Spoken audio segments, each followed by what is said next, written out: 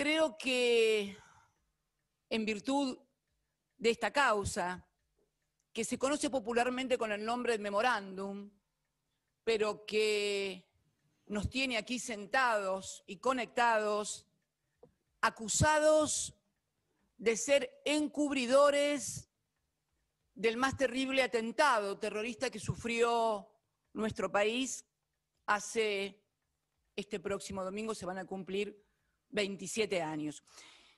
¿Cuál es la idea entonces? La primera, demostrar a partir no ya de los planteos jurídicos que vamos a hacer posteriormente, sino de la más simple lógica del disparate judicial, institucional y político que es esta acusación a quienes estamos hoy sentados o conectados aquí.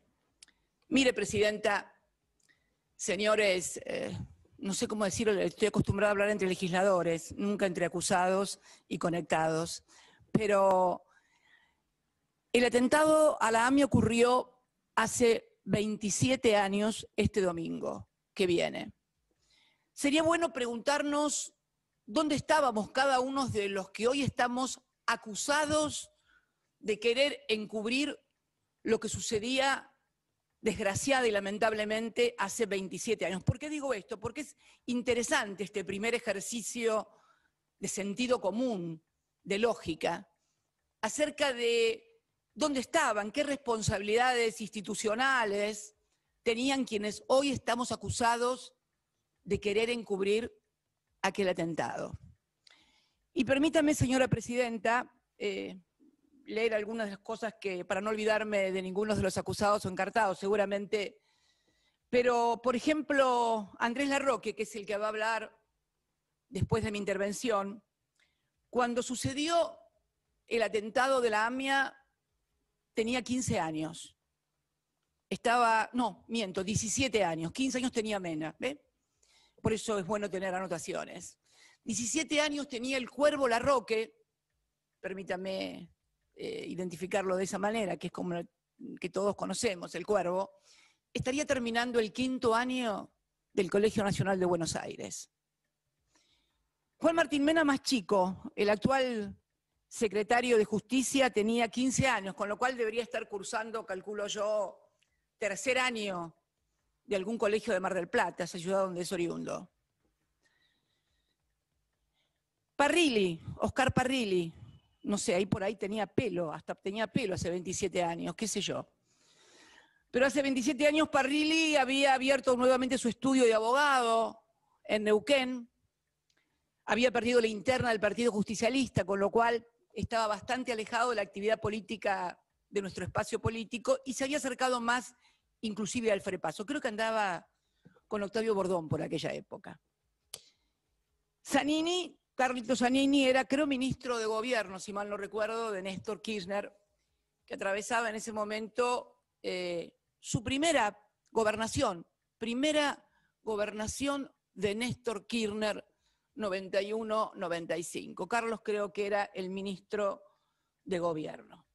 Angelina Bona, no sé por dónde andaría, pero me parece que en ese momento creo que era empleada de la empresa provincial de servicios públicos en Río Gallegos. Al Chango Suaín le comenté esto y me dice, no, yo recién entraba a la Cancillería como secretario de tercera. Timerman, no tengo, no lo tengo presente para preguntarle dónde estaba, pero encontré una vieja nota del diario Clarín del 26 de septiembre del 98. El título era Medios, dos puntos. Román Lechman, tres puntos, tiene tres puntos, que era una revista de aquella época, tiene nuevo director. Brevemente le leo un trocito de la nota. La revista Tres Puntos estrena cambios. Su director, hasta el día de ayer, Héctor Timerman, decidió retirarse y nombrar al frente al periodista Román Lechman, que desde hace dos meses se desempeñaba como su asesor. Timerman, sin embargo, será presidiendo la sociedad anónima que publica la revista porque sigue diciendo que se quería dedicar a la radio y continuará publicando las cartas de su padre, Jacobo Timerman. Yo ni lo conocía, la única mención que podía serme alguien de Timerman allá por el 94 cuando estalló la AMIA, era la de su padre. Yo había conocido a su padre y no lo había tampoco conocido personalmente, sino simplemente como director de aquel memorable diario que fue La Opinión, que marcó toda una época en el periodismo argentino. ¿Y dónde estaba yo? Yo estaba sentada en una banca en la provincia de Santa Cruz, era legisladora provincial.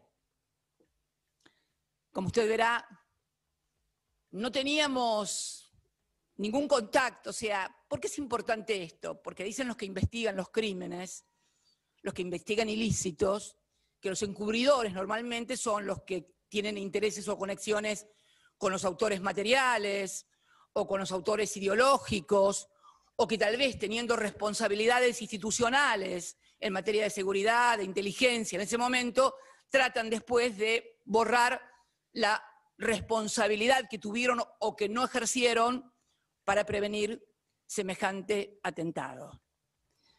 Estos